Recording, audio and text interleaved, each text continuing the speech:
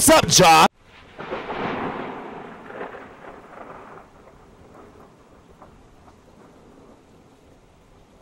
Yes, we keep it up to the 21st century here at Vice.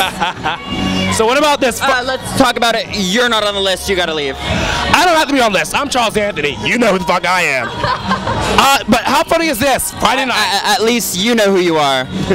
we are here every Friday night at Vice with Steven Machuca at Hot Lounge right here, Santa Monica Boulevard, 665 Robertson and Santa Monica. It's sickening and live, honey. All right, so this is my actually first night coming to Vice. Cheers. I've been next door at Girl Bar. Uh, you know, usually I'm at 11, but I'm at Vice now, so it's about Vice. He, he's partying with the Lebesians, but this is where the hot boys are at. So what's it look like upstairs? Um, it's everything. It's packed dance floor, giving you some Jay Z and Alicia Keys, honey. Um, giving you some Gaga, giving you everything that you need to hear that you probably haven't heard that you want to hear. So this is where it's at.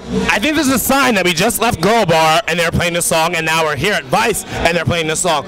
So am I gonna walk upstairs and see any cast members, any socialites? Um, Anthony Cortez is here. Brandon Rolfe is here. We have Perez Hilton here. We have, Let's get these bitches. We have Sarah Smart from Dance Your Ass Off is here. It's, it's you know the stars. We're living in Hollywood, honey.